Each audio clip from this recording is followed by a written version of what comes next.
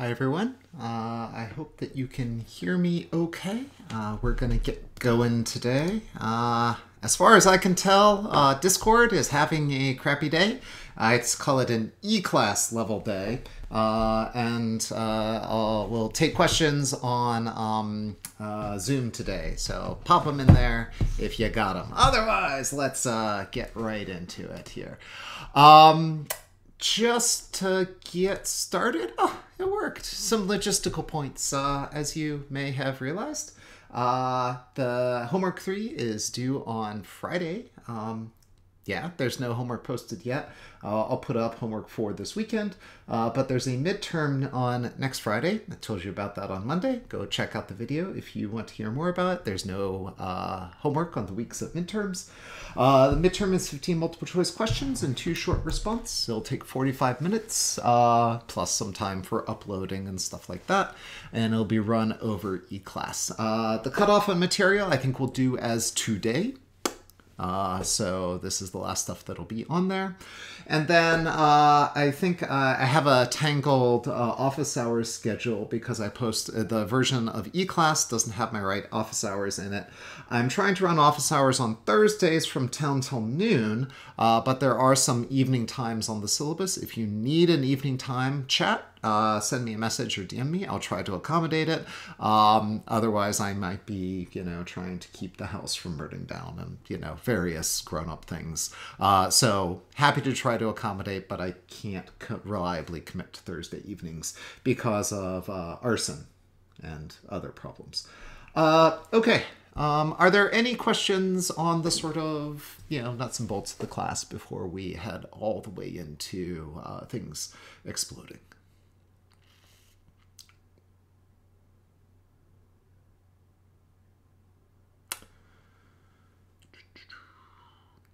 All right. Uh, shout them out if you got them. Otherwise, let's go back and talk about supernova explosions. I think I started this. I went really quickly through it at the end.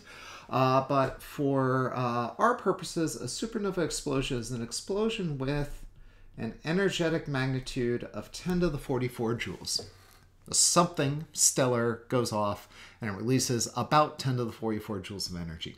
And there are two channels for supernova explosions. Uh, we talked about the core collapse supernova, uh, which is the end of a high mass star's life, uh, where the core collapse uh, happens and uh, forms a neutron star.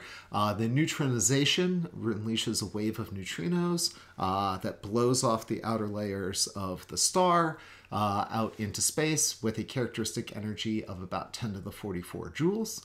Uh, there's this kind of hierarchy of energy scales with core collapse supernova, where 10 to the 44 is the mechanical energy in the supernova. About 1% of that comes out as light so it's the photons. Uh, and then about 100 times as much of that comes out in the mass energy of neutrinos. So 10 to the 46 joules comes out in neutrinos. Uh, the sort of thing we care about for galaxy evolution is what gets shot into the galaxy. That's 10 to the 44 joules, which is a lot. Um, and then the energy we see is at 1% of that. So there's kind of a factor of 100 in this energy ladder. And then we'll also later talk about thermonuclear explosions, which is when two white dwarfs end up colliding. Kind of, we talked about kilonova, which are smaller energy scales than these supernova, uh, which when neutron stars collide. But when white dwarfs collide, they undergo a runaway thermonuclear fusion of their carbon and oxygen up into the iron peak elements like uh, uh, iron, silicon, etc., stuff around the peak of that binding energy per nucleon curve. And this is pretty interesting because this is kind of two ways of injecting enriched matter into the uh, galaxy as a whole. Core collapse supernova tend to put out lighter elements, your carbons, your oxygens, and your nitrogens, uh, and your neons and stuff. Those get put out, and then the thermonuclear supernova enrich the cosmos with the iron peak elements. And then, of course, the kilonovae take care of like the platinum and the iridium and all the really heavy, exotic, weird things. Like, you know, where's your praseodymium come from? Uh, neutron stars. But these are the kind of common elements, uh, common channels for enrichment for um, uh, the, let's call them the ordinary elements, the common elements in the universe. Uh, I want to go over this graph here. This is from a uh, annual review article led by Nate Smith, uh, and it sort of illustrates the fates of massive stars, or fates of all stars, technically. And what it's showing you here is a graph of the initial mass of the star. And remember, that's not the final mass. That's what it starts with, not what it goes exploding with. And then the metallicity is on a, so we say, uh, you know, coarse scale. Uh, and the top line up here is about you know solar, and this metal free corresponds to the conditions that you expect in the early universe. And this uh, area is kind of divided up into a huge range of different physics uh, or different physical scenarios here. Uh, but you know, just want to interpret it is that first we have this boundary here between low mass stars and high mass stars at nine solar masses, and these low mass stars are the things that go on to form white dwarfs. Anything above that can go ahead and fuse um, the later stages, your carbons, oxygen, and neons, up into heavier elements that will eventually reach an iron peak explosion. Uh, and so that is going to produce supernova for basically anything above uh, this nine solar mass threshold. And they will uh, undergo core collapse uh, pretty much regardless of the metallicity uh, they'll co- undergo core collapse and they will form a neutron star. Uh, so we get this kind of boundary here, which is this black dashed line, of the things up here that form neutron stars. So this is neutron stars, neutron stars, neutron stars. And then things below this kind of black boundary are the things that form black holes. So it's not just a simple mass threshold. It's um, a complicated mass versus metallicity threshold. And then we have something kind of weird down here, which is no black hole, pair instability supernova explosion. And this is kind of a weird uh, phenomenon where we have uh, what's uh, it, you get such high energies inside the star that the individual photons undergo pair production. So they form uh, a, a photon will be coming along and it will split into a positron and an electron, and then it will sort of recombine to form a uh, photon and go on because it's matter antimatter annihilation. But when it go uh, when it goes from this uh, photon into the matter antimatter pair briefly, it removes pressure support because you have to basically take a lot of momentum out and put it into particle mass. And while it's in this, it takes out the pressure support, and this triggers a collapse and this kind of runaway generation of this matter antimatter uh, mixture, which then recombines and annihilates and blows off this giant wave of radiation. So it's an unstable form of matter at these very high energies, very uh, very high energies, very high temperatures uh, that leads to this pr- uh, production, uh, the pair production supernova, and that can actually destroy a star without leaving behind a black hole. But you'll notice that this only happens down here at very low metallicities because it requires very high mass.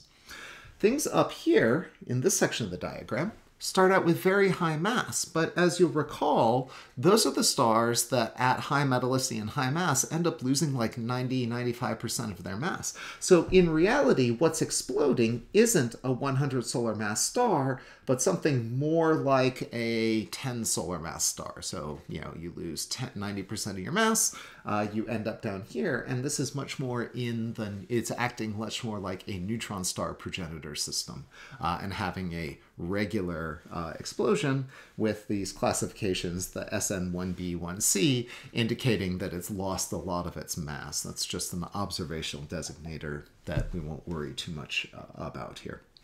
And then this line here, these things that are black hole by feedback, weak supernova, what happens here is that the supernova explosions aren't strong, en- uh, uh, basically aren't strong enough to unbind a lot of material, and the material falls back onto this newly formed neutron star and pushes it over its maximum mass, which is at about 2.2 solar masses, and then it collapses down to form a black hole. So you get these regions here which form a uh, neutron star and undergo an explosion, but then end up collapsing down to form a black hole. So for solar metallicity objects, that's sort of between 25 and 40 solar masses uh, in this regime. But then one of the coolest things that happen, uh, I think happens, is that these very high mass modest metallicity stars, they just simply run out of support and can undergo direct collapse. No explosion, just star one day, black hole the next. Nothing in between. And uh, what? Oop, uh, yeah. Before I, I'll, we'll we'll talk about that in a second. i am on a tear here. Uh, there's evidence of this happening. So this is an event that happened in NGC 6946, nearby galaxy, some I think it's 12 megaparsecs away, you know, relatively close galactic neighbor. And uh, they've been observing the star, taking pictures of this galaxy, and there's this big red supergiant star in the system that just one day disappeared. It's gone. There's no sign of a supernova explosion, no remnant.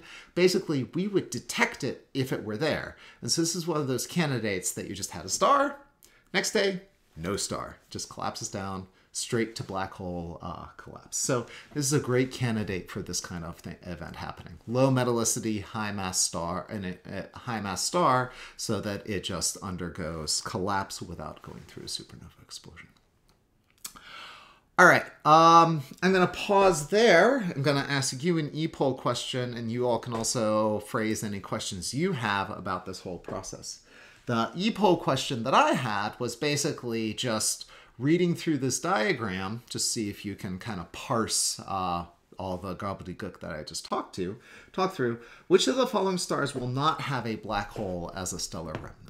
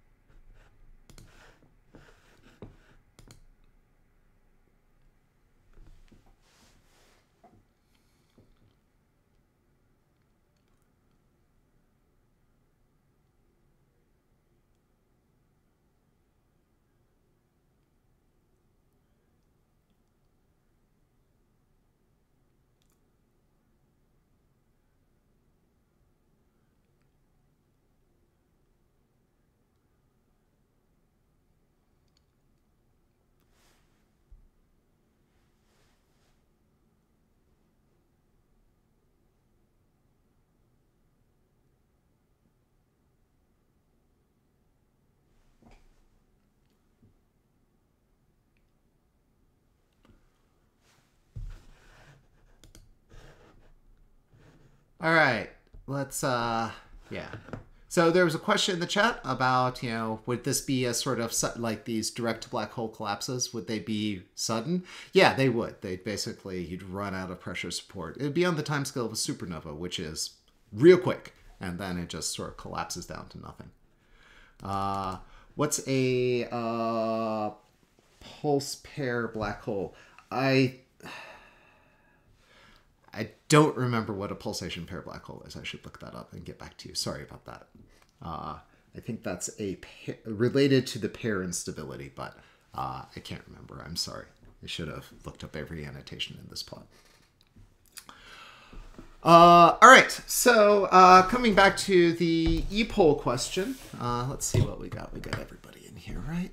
Uh, all right, we're like in uh, whatever 100 solar mass solar uh, metallicity is. So this is really just looking at the graphs here. So 30 uh, solar masses, solar metallicity is probably uh, right about there. That's in the black hole regime. 100 solar masses, solar metallicity is right about there. That's clearly out, so we can stop our search there. Uh, but 60 solar masses low metallicity is, you know, oh, that's in the direct to black hole regime. 100 solar masses low metallicity, kind of similar affair. And then 60 solar masses solar metallicity would be right about there, also in the black hole. So answer B is looking good for us. Will I give you the questions without a graph as a reference? No, I my I'm a big believer of like you have the graph. I mean the book the, the, the exam's open book, so you will always have the graph as a reference because the graph is there. Uh, but I think that the important thing that I want is making sure you can interpret existing graphs rather than sort of shoving all of this knowledge into your head.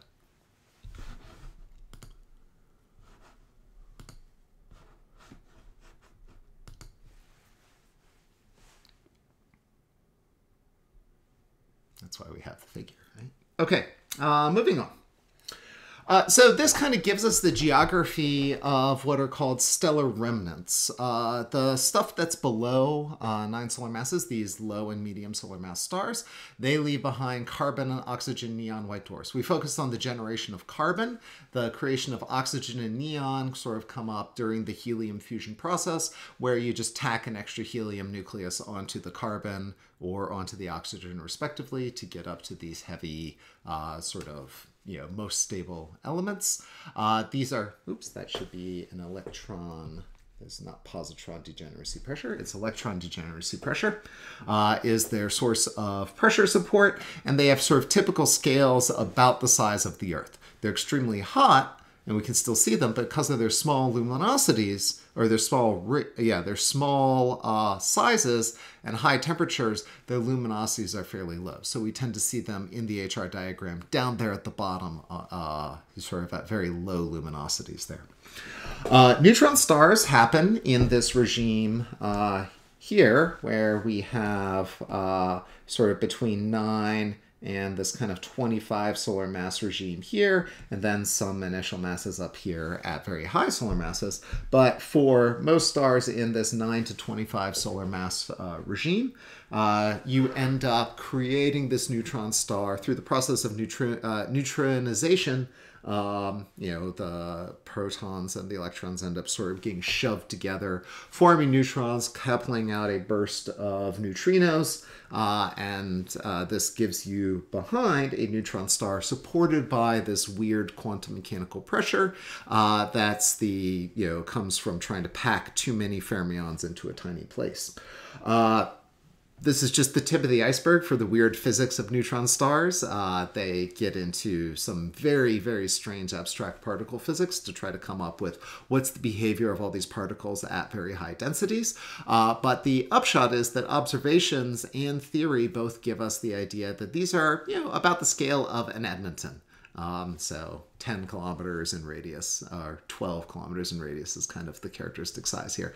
So this is, you know, kind of a, you know a completely graspable physical scale for once, but a mind-bogglingly huge mass scale here. These all have masses between kind of 1.4 and 2 solar masses in this tiny scale. Uh, these are fundamentally spooky, terrifying objects. Um, and then we end up with uh, black holes, which show up for moderate and low metallicities for anything above, um, oops, an error here too. That's uh, 25 solar masses up to about 300. Uh, that gives us our uh, black holes, and they have a characteristic size that's set by the Schwarzschild radius, which is 2 gm over c squared.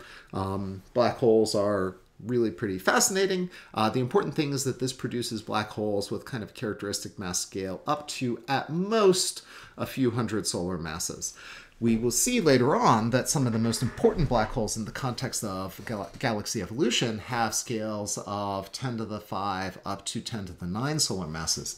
These are these supermassive black holes in galaxies, and so they have to come from a different channel, and they are also the drivers of active galactic nuclei, which drive these huge jets out uh, from uh, the black holes. The last thing I want to talk about, and by means of background, is this notion of metallicity. We've been sorting, we've been sort of steering around it a bit. We said that okay, we can just treat this as a mass fraction in the context of stellar evolution, but galaxies actually care a bit about the chemistry of a galaxy. Like in the sun, it's really easy because we only have kind of one pattern of elements, and that's shown here. This is the abundances of elements in our solar system, and they are graphed here on a log logarithmic scale as a function of atomic number, kind of aggregating all the isotopes of an atom uh, together. And so the way you read this is that uh, hydrogen is the most abundant element in our solar system. You may not appreciate that being on Earth, but you know most of the mass is in the sun, and the sun is mostly hydrogen. This is a graph of the abundance of species by number. So this is counting by particle, by nuclear number, by a number of particles, I should say. We've been dealing with counting these by mass. When you deal with the XYZs, that's stellar evolution mass functions. But this is actually just numbers of atoms. How many atoms are there of X versus how many atoms there are of Y? A few things to note here, uh, apart from hydrogen is the most common, helium is the next most common. That's from the Big Bang and Big Bang nucleosynthesis. Then we have this big trough here or this little trough here, where the lithium, beryllium, and boron are super rare given their low atomic numbers. And that's because of this nuclear process and that binding, the structure of that binding energy per nucleon curve. And indeed, this sort of sawtooth pattern of up, down, up, down, up, down, up, down. That's all from the stability of nuclei under the process of nuclear fusion. It's much easier to make carbon and oxygen than it is to make nitrogen because uh, the carbon and oxygen nuclei are more stable, and so you end up with they are more energetically favored under the nuclear fusion process uh, fluorine, very rare, and so on. So we read this as a logarithmic scale where this is a log base 10 of the number of particles. So if I want to calculate the ratio of, say, carbon to oxygen, I would look at the uh, difference between them. So, uh, say, oxygen is here at, say, 7.2, and carbon is here at like 6.8. I would calculate the ratio of carbon over oxygen. Uh, at, let me write it uh, this way. We write this as n carbon over n oxygen would be 10 to the 6.8 minus 7.2, which is 10 to the minus 0.4, and that's about, uh, I think it's about, oh, that ends up being about 0.4. I just freewheeled that calculation since I thought it was important to say, so I haven't pre-calculated. Ah, 0.4, right on the nose. Man, I'm, I'm feeling mathy today. It's amazing. okay, good feelings gone. Um, okay, given that, uh, okay, yeah. So I was sort of caching this uh, for later, uh, but this is uh, just a recap that we've previously been dealing with metallicity uh, in terms of mass fraction, so with that big Z there. Uh, the other thing that we'll see a ton in this class as we go forward is this notation, uh, which is the bracket notation for stellar, uh, for metallicities. And this represents the abundances of one group or element relative to another. And so here, alpha is a funny little way of talking about the alpha process elements. So this is carbon, oxygen, and neon are the alpha group elements. So you sort of aggregate them all together because they're the things that are formed by this alpha fusion process in uh, the late stages of stellar evolution. Uh, and Fe is iron. So we kind of compare this to the stuff at iron. And so when you see this notation of brackets, that's the difference in logs. So it's really uh, sort of the ratio of the logs. And that's comparing it, and this is the weird part, comparing it to the same value established for the solar system. So that thing. And so when we see this, most of these brackets are anchored as zero means solar-like. Negative means smaller than the sun's and positive means larger than the sun's. Finally, we will occasionally deal with what's just straight up metallicity by number. And for reasons of not liking negative numbers, having a strong anti-negative bias, we usually add 12 to this number. So you'll often see metallicities expressed as 12 log O on H, which really just means 12 log NO over NH. All right, that's, uh, I hope, the last of the sort of like gibberish I'm just going to throw straight at you, and now we can start all putting it together. But uh, let's take a pause, and I'll ask you just to sort of do some interpretation. What is 12 plus log O on H for the solar system, given the graph we've laid out here?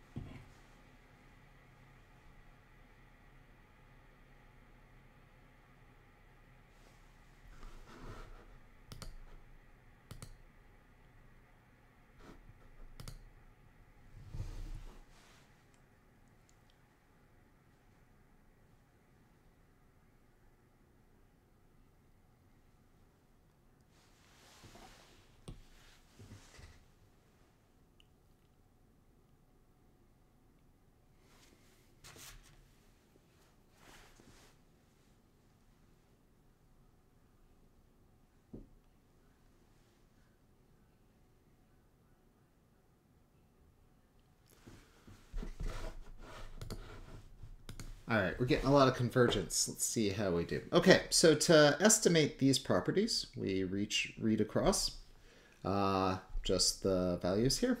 And I'll guess that uh, H is at about 10.4 on the scale and oxygen's at about 7.2.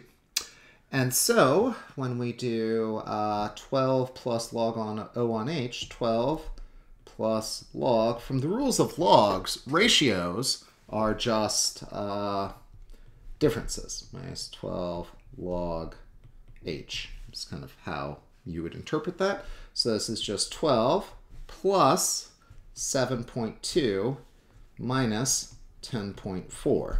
And if I twiddle that out, I get 8.8. .8. So on this scale, solar, solar oxygen abundance is, is 8.8. Uh, so that's how we see that. And so you'll often see like, oh, here at 12 plus log O on H of 8.2, you're like, oh, that means that means subsolar oxygen abundance. Okay, makes sense. All right. So the reason why we care about, well, let's see how we did. Let's close off the ePoll. How did we do, friends? Okay, okay. I got, I got, I definitely got some numbers. Got 11.8. I guess, how would that happen? Maybe if you switch the 10.4 and the 7.2, you'd get 11.8. Lots of 11.8s, but uh, also lots of 8.8s. So feeling good about that. Uh, any questions on how that went?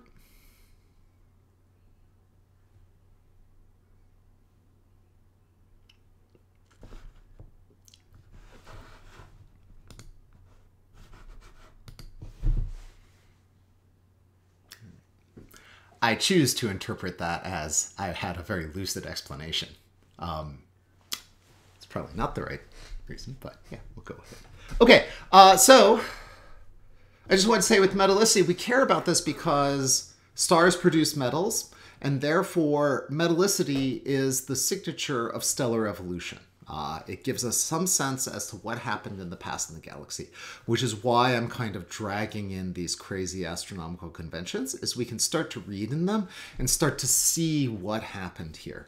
Um, you know, just as a just as a cool aside, uh, we uh, here in our solar system have a surprisingly large amount of a radioactive aluminum isotope. Uh, and it is embedded in such a way that we think that our solar system was actually formed near a um, it, it, our solar system was actually formed near a supernova in a cluster environment. And so that's the kind of signature uh, that uh, yeah. Yeah so that's the kind of signature that you expect here. Okay ah i see the explanation there. Got it uh, where the 11 point whatever comes from. Okay, so that's the kind of process that you can go through here. So thanks all uh, for clarifying. Okay. So we're going to change gears now and talk about kind of what's in the next chapter. I've written a good chunk of it. I hope to. I really want to get it up uh, soon, but I stopped to actually get you know get the lecture slides uh, put together. I'm sorry that the book is not caught up yet. Uh, I'll have it up uh, by the end of today. Doesn't much matter. Uh, but since you won't need it for homework or midterm prep or Friday, but um, I do still feel guilty. Uh, regardless, our next plan is to go through and try to take everything that we've put together so far, our observational conventions and our knowledge of stars to start to understand this process called star stellar populations. And ultimately, we want to explain the features that we observe in two cases. The first we've been staring at a lot. Here's our Hertzsprung-Russell diagram. These are the nearest stars to us, and we've basically plotted everything. It just goes on here, and the only thing that's in here are high quality parallax measurements and low extinction, and these are the stars that we see around us. But you'll sort of notice that there's this is plotting not just where the stars are, that's what we've been focusing on, but it's plotting the density of stars. How many stars are there? And there are lots of stars right here in the FG regime. And, well, where does that come from? And there's almost nothing up here in the O and B regime. What happened to all the O and B stars? Why are we even talking about them? Uh, what's going on there? Why is this thick? Why is the main sequence thick? If we look at clusters, it's that razor thin main sequence. Where does that extra width come from? Why are the white dwarfs also a thick sequence? What's the red clump as distinct from these AGB stars? Why is there some spread there? What's this stuff in the middle here? That shouldn't be there according to a lot of HR diagrams. Eh, what's going on with hot subdwarfs? Eh, what's this crap? I mean, that's the kind of stuff that we need to understand with stellar populations and try to figure out where does this thing get its shape given what we know about stars? But there's something we haven't really talked about, and that's if we look farther afield. When we start to study other galaxies, we can't see the contents of the individual stars there. This is it's this is just an unresolved mess. We aren't picking out nearest stars. This is only in our solar neighborhood that we can do this Gaia stuff. This stuff is all way, and when we're looking out there, we're seeing millions hundreds of millions of stars along a given sort of part of the image. And what we do there is we measure the observed light coming out. Uh, so these are data from a survey team that I'm on. Uh, we, and if we look at this galaxy here, uh, this is 3627, um, NGC 3627, and we look at the center here, we can actually make the flux density distribution, uh, map of the flux density distribution, also known as a spectra. Uh, and this is the resulting spectrum over this section of the wavelength. That says air wavelength in nanometers. And what we do is we see little stellar absorption feature lines here. We see all of these uh, like lines and a lot of this stuff, this sort of janky up and down stuff, that's not uh, that's not crap in the spectrum that's stellar lines into like from mil, you know millions of stars in the line of sight all with different temperatures and metallicities and stuff. So we want to be able to sort of figure out how does the emergent light from galaxies uh, come about. And that's also a study of stellar populations. Given what we know to make these predictions we'd kind of need four main ingredients to really understand all of these pieces the first thing, and probably the hardest thing, is the star formation history, which is basically, if we're looking around us, what massive stars formed over the course of time? Was it 10 solar masses a year for a billion years? Was it 100 billion solar masses or 10 billion solar masses over one year? How did like the stars actually form? And this is actually has to do with galaxy evolution. How are galaxies making stars? So in this process of studying stellar uh, populations, this is probably the thing we want to leave as the output. Our inputs are a little better understood. Uh, the first thing is we need the initial mass function, which is if I turn some mass into stars, uh, what's the probability density function of stellar masses that results, the initial masses? And, and can I understand how that probability density function varies as a function of galactic properties, like where it is in the universe, how old is it, what part of the galaxy is, does that affect the initial mass function?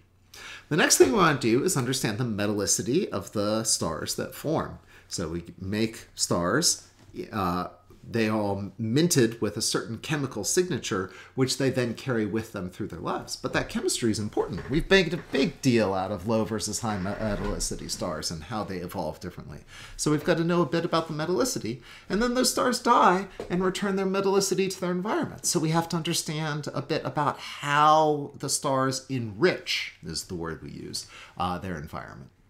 And finally, as kind of an asterisk, we also need to understand companion frequency. What fraction of stars form in binaries uh, or multiple star systems and uh, with other stars or brown dwarfs as the part of this star formation process. And so you notice I've been talking a lot about the process of star formation because once we form stars, they kind of evolve without interacting much with each other.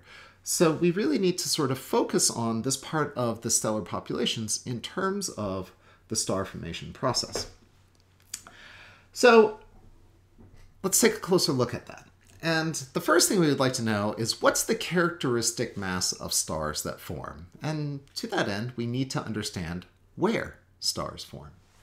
Uh, fortunately, we can go and look for that. And this is a picture of a star forming region. Uh, it's a picture in the optical. Uh, this is towards the Perseus molecular clouds, which is uh, near Taurus on the sky. It's kind of a not very flashy constellation, so it's hard to kind of pick out. Uh, but if you use a really amazing uh, sort of astrophotography setup that these uh, astronomers put together, you get this beautiful look at space, and you can see that there are young stars forming. How do we know they're young? Well, they're massive and they haven't lost a lot of their mass. Uh, so we know that they must be fairly young because if they can't be old, because they would have died already. So these are the young stars. And in fact, further study identifies this as regions hosting protostars. So things that are in that sort of section of the Hertzsprung-Russell diagram collapsing down onto the main sequence. So these regions are star-forming regions. And when we look at it, you're like, look at all this crap that's in the way. What's all this smudgy bits? Well, that's the dust that I was talking about in the context of, the, of Gaia evolution uh, or the Gaia exercise. And that's all integrated and mixed in with the gas in this environment. And so we can use that to actually see where the star forming gas is. And so we study that in the context here of thermal emission from the dust grains. This is observed in the infrared, and we see that there's this wispy kind of star-forming filamentary structure here. And then we can do a lot of studies that I can tell you more than you really want to know about uh, that infer that these gas clouds have kind of a typical uh, density of about 10 to the 8th hydrogen molecules per cubic meter, and that's kind of our common way of measuring this, and a temperature of about 10 Kelvin, which is really, really quite cold. And the reason why they form here has to do with the star formation process itself. And that gets back to this question of what's the characteristic mass of stars that form? And that comes back to the dominant forces, the dominant physics of stellar evolution. Pressure versus gravitational collapse, except to form a star, gravitational collapse has to win. It has to collapse down and heat up to a point where nuclear fusion ignites in its core. So that means we want gravity to win uh, to form the stars. And so what we do is we envision a medium that has a uniform mass density. I was quoting a number density earlier, but this is just mass density, rho, kilograms per cubic meter, tiny number of kilograms per cubic meter. And you can say that in that medium, you can basically ask how big, uh, you know, if I make a spherical cloud out of that medium and just turn it loose without pressure support, how long will it take to collapse? And without wanting to belabor the derivation, you can find out that irrespective of the radius of the cloud, it will always collapse down to a point in what's called a free fall time. Other physics will kick in before then, but for here, the free fall time is given by this expression, 3 pi over 32g rho. So if I give you, you know, the only thing you need to know here is rho. And so if I give you a mass density, you can calculate a free fall time. So if I give you a mass density, you calculate a free fall time.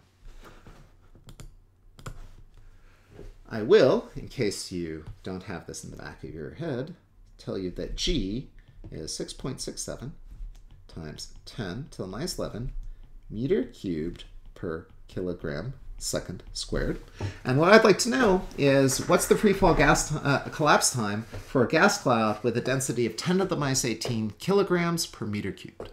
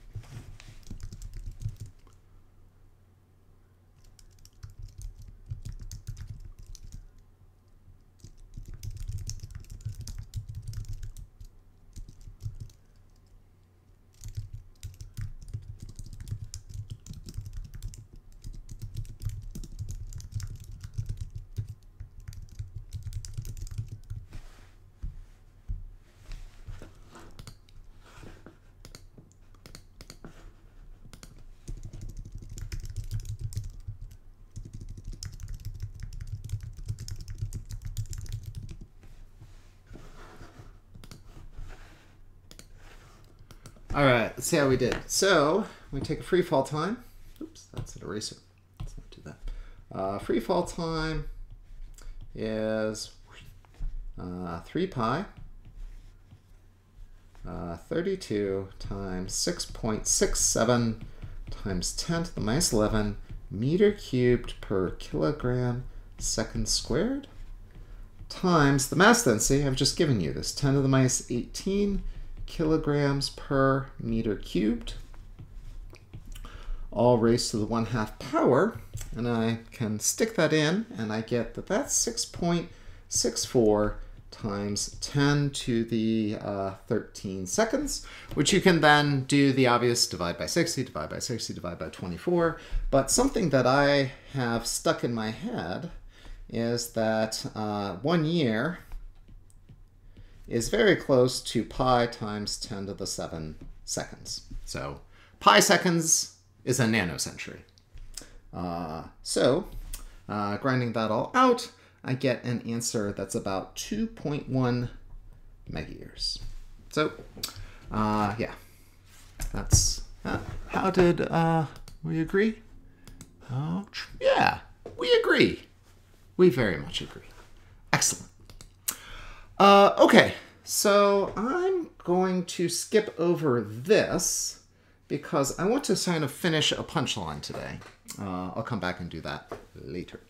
Um, so what's neat about this is that if we know the free fall time, we can relate the free fall time, which is how long it takes for gravity to act, to how long it takes for pressure to act. So if we're going to collapse something down, its pressure is going to increase. And so what gravity does is it kind of happens too fast for the pressure to resist it. And so when pressure is trying to exert its force on an object, it does so on the sound crossing time. So it's how long does it take for a pressure wave to traverse an object. And so if we happen collapse faster than pressure can get across the object, then we're going to have something that can do, undergo a runaway collapse. So the sound crossing time uh, for an object, and I've sort of illustrated here, that's at this kind of critical scale for collapse, where gravity is at large enough scale that can pull all its mass together before pressure can say, stop, stop, collapsing. That's going to be uh, this relationship between the sound crossing time and the free fall crossing time. So if I set those two equal, I can derive this critical length scale that sort of separates larger scales where pressure will get across it and smaller scales where gravitational collapse will occur. So if I solve that, I can uh, get this scale, and we call it lambda sub j, which is called the critical length scale for the Jeans instability, named after an uh, a, a, physicist whose name is Jeans. There's no apostrophe. The full name has an S. It's just the Jeans instability. Uh, and we can then take that characteristic scale for collapse and set that as uh, mass density times basically the cube of a length to get out the volume. And if we do that correctly, I'm just saying that this coefficient is hard to get, the scalings we can derive pretty easily. Uh, but the scalings that we get is that the Jeans mass is about pi to the 3 halves. That comes from far more complicated math than we want to do here. Over 8 times cs cubed uh, g to the 3 halves rho to the half. And what I can do is basically non-dimensionalize that, stick in characteristic values for a uh, cloud and come up with that that's about seven solar masses times the temperature of a cloud times the density to the one uh, to the three halves, density to the one half. And so what this gives me is a sense that the lower the uh, temperature scale, the closer we get to kind of typical stellar masses here.